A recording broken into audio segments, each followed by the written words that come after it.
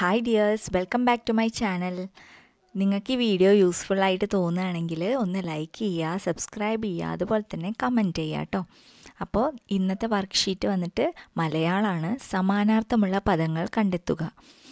കൂടുതൽ വാക്കുകൾ കണ്ടെത്തി പിരിച്ചെഴുതുക പിന്നെ ഒരു ആസ്വാദനക്കുറിപ്പ് തയ്യാറാക്കുക. അപ്പം ആദ്യം തന്നെ നമുക്ക് സമാനാർത്ഥമുള്ള പദങ്ങൾ കണ്ടെത്താം. തോഴൻ കൂട്ടുകാരൻ സുഹൃത്ത് ചങ്ങാതി.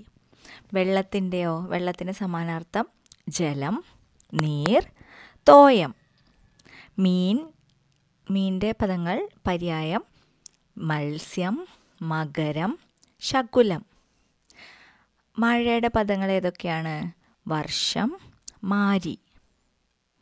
അടുത്തത് മുഖം. മുഖത്തിന്റെ പദങ്ങൾ പര്യായങ്ങൾ അല്ലെങ്കിൽ ഒരേപോലത്തെ അർത്ഥം വരുന്ന പദങ്ങൾ. ആനനം വദനം അസ്യം. അടുത്തത് നിലാവിന്റെ പര്യായങ്ങൾ ഏതൊക്കെയാണ്? ചന്ദ്രിക ജ്യോത്സ്ന കൗമുദി. അടുത്തത് പുഞ്ചിരി. പുഞ്ചിരിയുടെ പര്യായങ്ങൾ സ്മിതം മന്ദഹാസം സ്മേരം. കൈയുടെ സമാനാർത്ഥമുള്ള പദങ്ങൾ അല്ലെങ്കിൽ പര്യായങ്ങൾ ഏതൊക്കെയാ? ഹസ്തം ബാഹു പാണി. അമ്മ.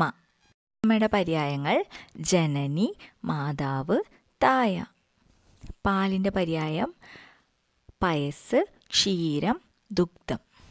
അപ്പോൾ ഇതൊക്കെയാണ് സമാനാർത്ഥമുള്ള പദങ്ങൾ. അടുത്ത പ്രവർത്തനം മാറ്റി എഴുതാം. അടിവരയിട്ട പദങ്ങൾ അർത്ഥവ്യത്യാസം വരാതെ വാക്യത്തിന്റെ മറ്റൊരു ഭാഗത്ത് ചേർത്ത് വാക്യം മാറ്റി എഴുതണം. അതായത് ഒരിക്കലും അടയാളപ്പെടുത്തിയിട്ടുണ്ടല്ലോ അടിയിൽ. അത് വേറൊരു ഭാഗത്താക്കിയിട്ട് നമുക്ക് ഈ വാക്യങ്ങൾ മാറ്റി എഴുതാം. പക്ഷെ അർത്ഥം വ്യത്യാസം വരാൻ പാടില്ല. അതെങ്ങനെയാ ചെയ്യാൻ നോക്കാം. ഒരിക്കലും ഒരു പക്ഷി പേടിയില്ലാതെ ഇത്ര അടുത്ത് വന്നിരിക്കുന്നത് കുട്ടൻ കണ്ടിട്ടില്ല. അപ്പോൾ ഈ ഒരിക്കലും എന്നുള്ളത് ഈ ഒരു വാക്യത്തിന്റെ വേറൊരു ഭാഗത്ത് മാറ്റി എഴുതണം. എങ്ങനെ ചെയ്യാൻ നോക്കാം? ഒരു പക്ഷി പേടിയില്ലാതെ ഇത്ര അടുത്ത് വന്നിരിക്കുന്നത് കുട്ടൻ ഒരിക്കലും കണ്ടിട്ടില്ല. അപ്പോൾ ഒരിക്കലും വേറൊരു ഭാഗത്താണ് വന്നിട്ടുള്ളത്. ഇതേപോലെ നമുക്ക് നോക്കാം. അവർ കളിക്കുകയാണ് മുറ്റത്ത്. അപ്പം എങ്ങനെ അത് മാറ്റി എഴുതുക? മുറ്റത്ത് അവർ കളിക്കുകയാണ്.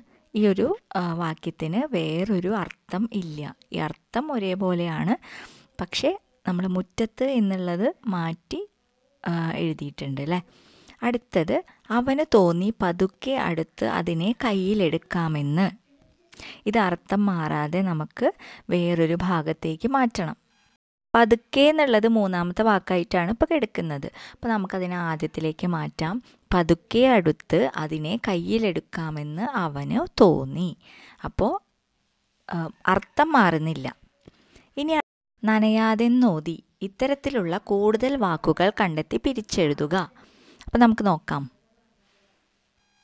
അപ്പം ആദ്യത്തെ വാക്ക് നനയാതെ നോതി നനയാതെ പ്ലസ് എന്ന് പ്ലസ് ഓതി. ഇതെല്ലാം കൂട്ടിയിട്ടാണ് നനയാതെ നോതി എന്നുള്ള വാക്കുണ്ടായത്.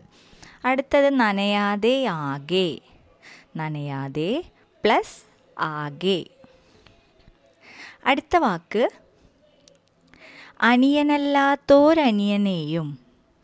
അപ്പോൾ അനിയൻ പ്ലസ് അല്ലാത്ത പ്ലസ് ഒരു പ്ലസ് അനിയനെയും. അടുത്ത വാക്ക് തൻ കുടയിൽ. തൻ പ്ലസ് കുടയിൽ.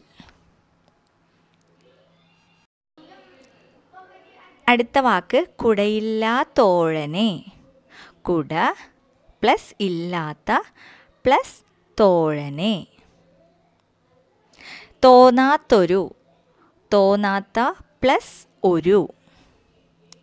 അത് കൂടി ചേർന്നാണ് തോന്നാത്തൊരു എന്നുള്ള വാക്കുണ്ടായത്. അപ്പോൾ മലയാളം വർക്ക്ഷീറ്റിലത്തെ മൂന്ന് പ്രവർത്തനങ്ങൾ നമ്മൾ ചെയ്തു. ഇനി ഒരു ആസ്വാദനക്കുറിപ്പും കൂടി തയ്യാറാക്കാനുണ്ട്. അത് നമുക്ക് അടുത്ത ക്ലാസ്സിൽ ചെയ്യാം. അപ്പോൾ നിങ്ങൾക്ക് ഈ വീഡിയോ യൂസ്ഫുൾ ആയിട്ട് തോന്നുകയാണെങ്കിൽ ഒന്ന് ലൈക്ക് ചെയ്യാൻ മറക്കരുത് സബ്സ്ക്രൈബ് ചെയ്യാനും സപ്പോർട്ട് ചെയ്യാനും മറക്കരുത്.